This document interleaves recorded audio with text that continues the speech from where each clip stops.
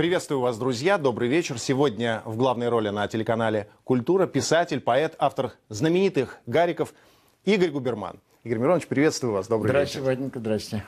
На международной книжной выставке ярмарки, которая проходила в Москве, вы открывали экспозицию израильской книги. Такая честь, так сказать, как переходящее красное знамя в преснопамятные времена, это значит, что вы официально признаны лучшим израильским автором?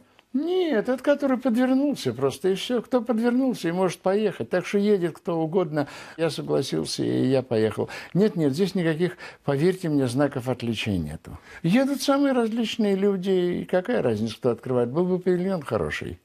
Прежде чем я задам следующий вопрос, я предлагаю поиграть вам а, в такую игру, которая вам хорошо из- известна. Вы не раз своим друзьям и знакомым Две строчки ваши. Да, совершенно верно.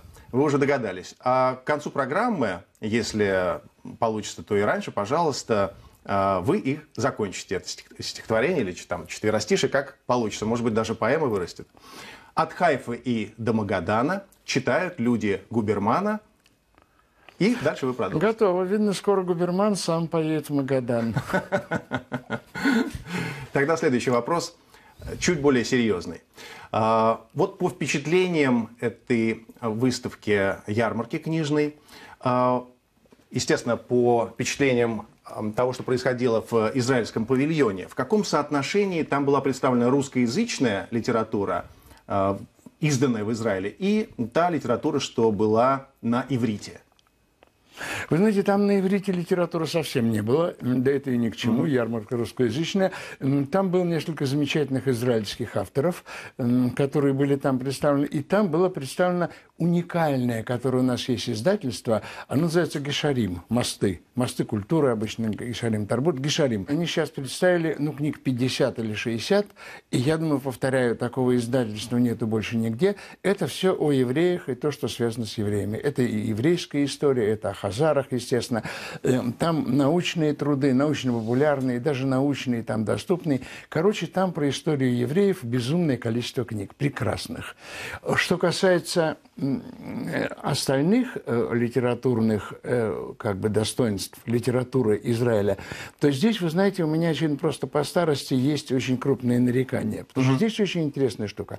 У нас есть авторы очень хорошие, которые издают книжки за свой счет. Издательств нету практически, их немного. Вот сейчас, по-моему, Гишарим только и остался.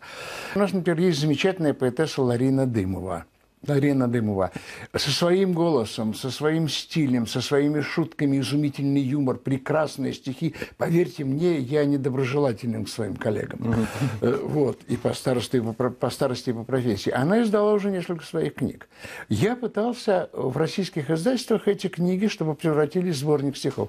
Они все боятся, и понять их можно. Предприятие коммерческое, государство больше не окупает всяких кочетовых и так далее. Не хотят рисковать. И вот такая вот ярмарка могла бы по- по- помочь раскрутке такой, как она. Понимаете, если были ее книги, то там же ходят и издатели, то какой-то издатель купился бы на прелесть ее, так сказать, стиха. Нету этой книги. У нас есть изумительный прозаик Алекс Старн. Алекс Старн, он пишет и детективы, и приключенческие воображение у него сумасшедшее. Настоящий автор, настоящий. Вот если все говорят, Израиль это Дина Рубина, то Алекс Старн вот на, на уровне, поверьте мне, потрясающий писатель. Нету его тоже книжек, не было. И это не вина Израильского культурного центра. Они все организовали изумительно и все прекрасно. Очевидно, такими вещами на ярмарках э, должны заниматься кто-то, кто живет в Израиле. Э, Не занимались. И мне очень жалко нескольких авторов, очень хороших. У нас есть литература на русском языке, э, которые могли бы быть представлены. Ну, вам грех жаловаться, вы автор очень многих изданных книг, В моей книге не было ни единой. Но на этой выставке. А вообще, Вообще есть полным-полно, да. мне интересно, а у вас в домашней библиотеке хранится ваша самая первая малюсенькая брошюра с романтическим названием «Локомотивы прошлого и будущего»? Настоящего и будущего. Настоящего. Она где-то есть, да. И вообще научно-популярные мои старые книги есть. И мне их иногда даже приносят на подпись на концертах. Но больше всего приносят, больше всего меня трогает на самом деле, э, когда приносят рукописи сам издата. Знаете, на машинке, слепой шрифт, там третий, четвертый. Еще синтаксис, экземпляр. да? 70-х годов, 70-х годов стишки. Теперь, э, возвращаясь к вашим знаменитым четверостишиям, э, я думаю, что вы не раз уже отвечали на этот вопрос, но все-таки, чтобы поставить все точки над... Йо. Совершенно верно, вы знали.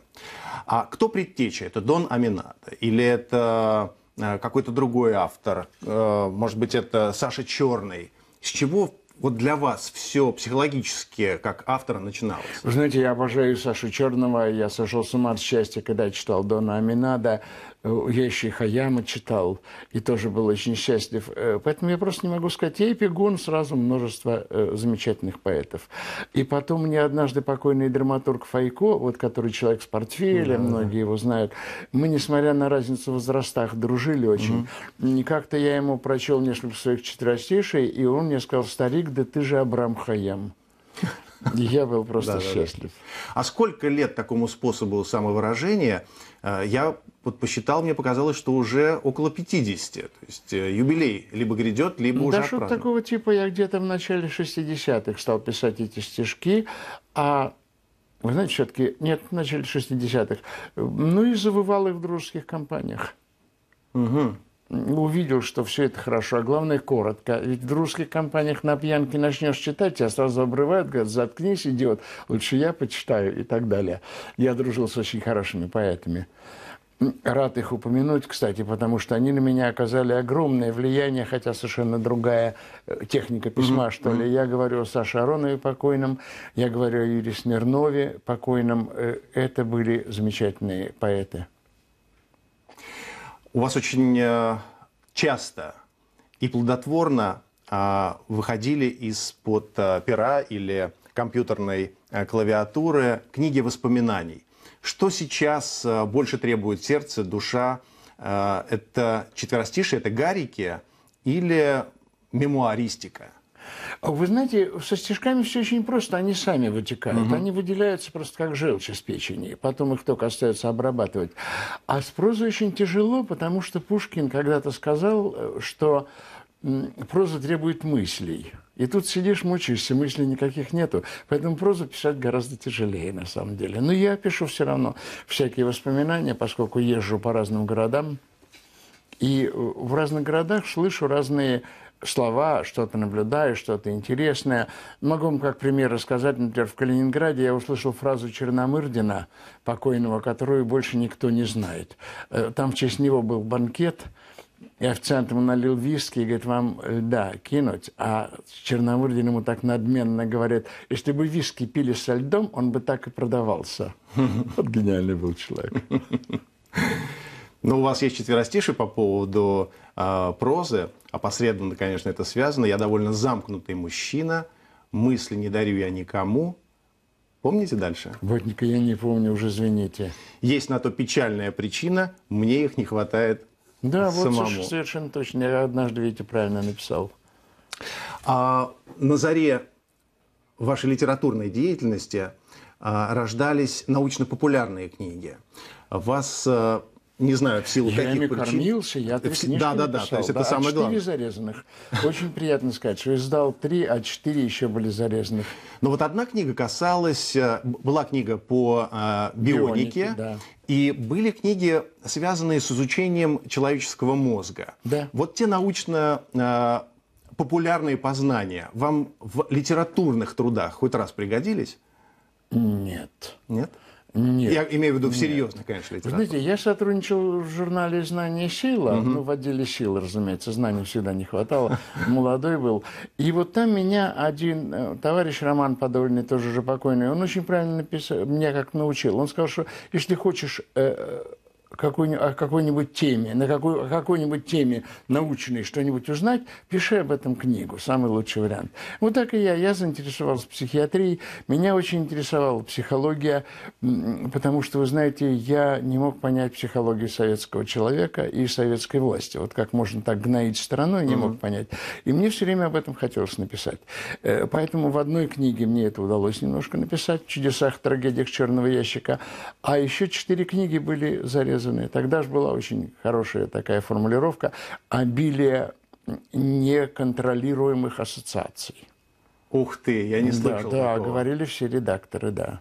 Прекрасно.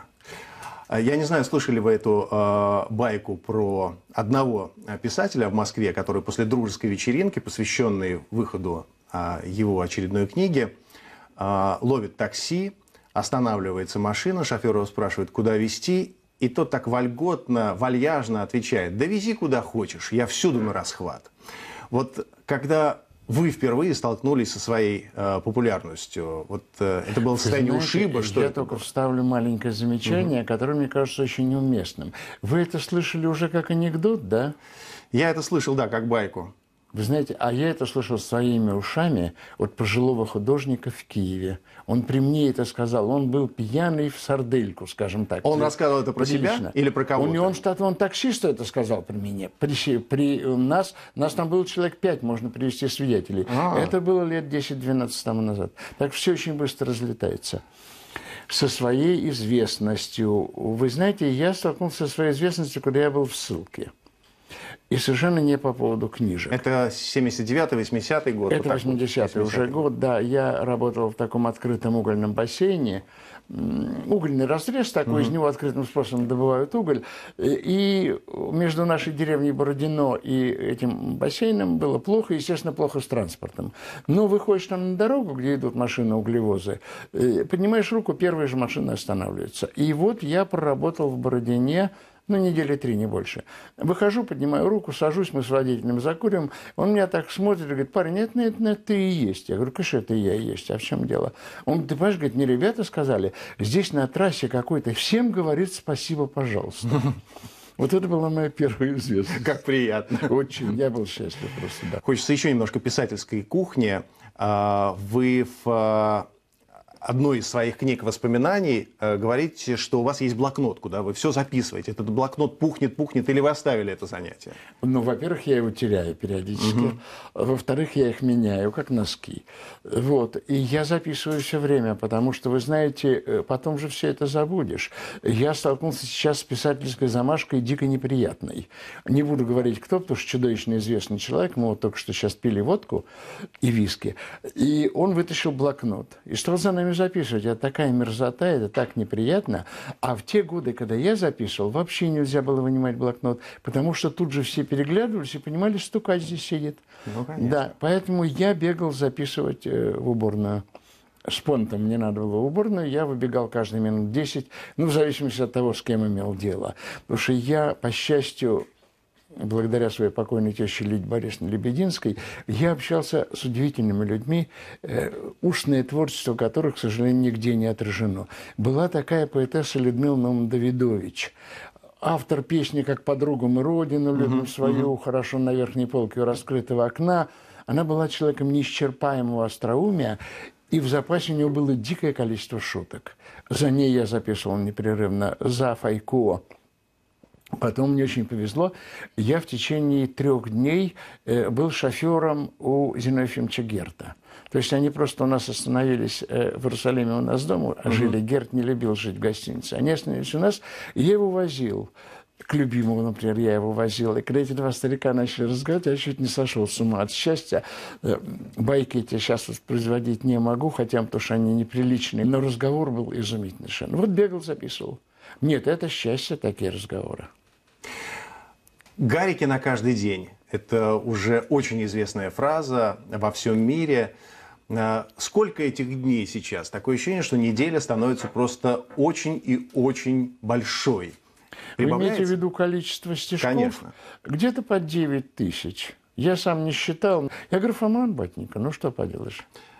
А, Дай бог, дорогой Гарик, чтобы ты побольше не становился бедным Йориком. Ой, это фраза Лешковского. Ну, вот видите. Да, это Юза Лешковский мне прислал телеграмму, он и Саша Горелик. Спасибо, батенька, я постараюсь.